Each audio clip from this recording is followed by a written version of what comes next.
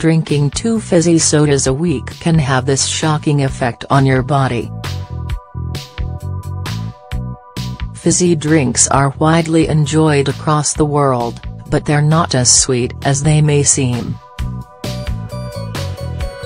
New research suggests that drinking just two cans of pop a week is enough to raise your risk of diabetes, high blood pressure, heart disease and stroke. Guzzling more than two sugar-laden drinks a week can increase the risk of type 2 diabetes and glugging just one can raise blood pressure. Researchers say the drinks are energy-dense leading fizzy drink fans to unwittingly drink excess calories and gain weight because of it.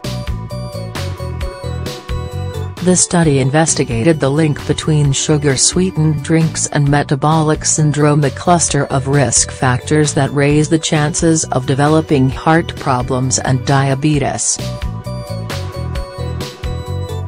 frequent intake of these beverages contributes to the onset of the metabolic syndrome, diabetes and hypertension Professor Fadi E. Lesop The risk factors include fat bellies, high levels of fats in the blood known as triglycerides, elevated blood pressure, high fasting blood sugar and reduced good cholesterol levels.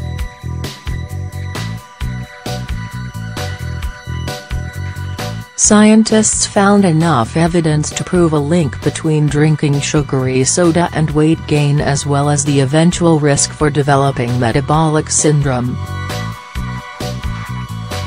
The team reviewed 36 studies involving people who drank more than five fizzy drinks a week and investigated their cardiometabolic risk, chances of having diabetes, heart disease or stroke. Most of the studies supported a link between sugar-sweetened beverage consumption and the risk of developing the metabolic syndrome. The study's senior author Professor Fadi E. Of Stellenbosch University in South Africa, said, Excess sugar consumption has surfaced as one of the most prominent global dietary changes during the past few decades and is considered a primary driver of cardiometabolic diseases onset. Our analysis revealed that most epidemiological studies strongly show that frequent intake of these beverages contributes to the onset of the metabolic syndrome, diabetes and hypertension.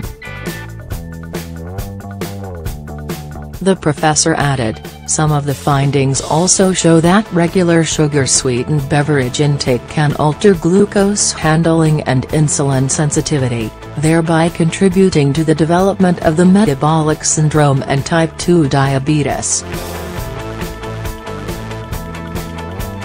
There is also evidence that frequent sugar-sweetened beverage intake, and particularly fructose, is linked to hypertension and well-known CVD risk factors.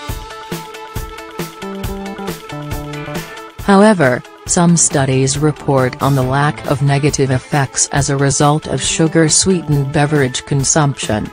The findings demonstrate there is a clear need for public education about the harmful effects of excess consumption of sugar-sweetened beverages.